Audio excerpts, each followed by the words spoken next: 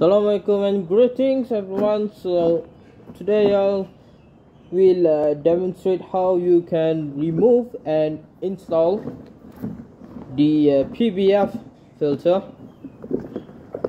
And foremost you have to pry this open.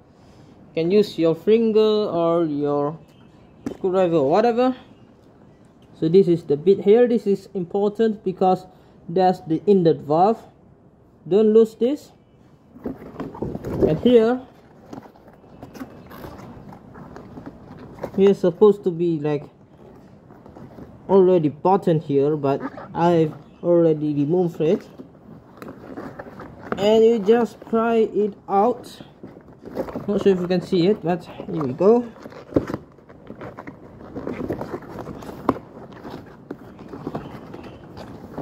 I have to push this out somehow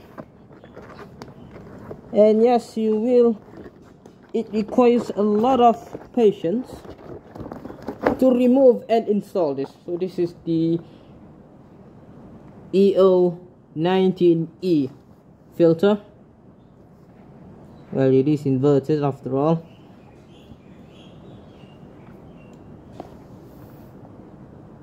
Right so to install it first and foremost you have to have the filter itself it goes through here. Just insert it here. I mean if you can see.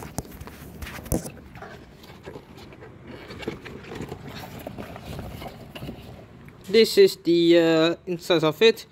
Just like the pocket here you insert it there. All right.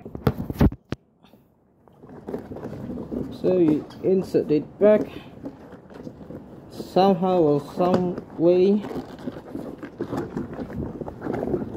And in case you're wondering yes it does require lots of patience.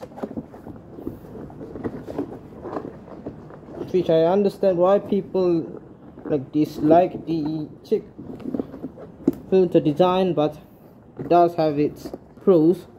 Alright so afterwards you see this. You have to pry this in more to fit the black thing here. There you go. Afterwards this you just push it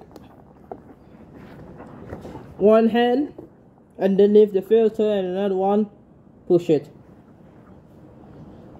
The count of three three two one. There you go afterwards don't forget to button it here into the little hole there. And once again it is quite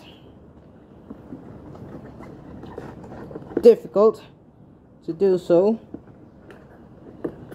You will need a lot of patience.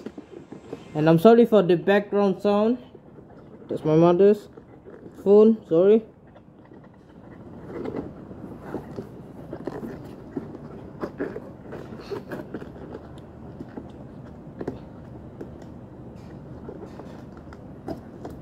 Done. There you go. That's the uh, buttoned section. So yeah that's how you install and uninstall. Uninstall I don't know. Or remove remove the filter on a PBF thank you for watching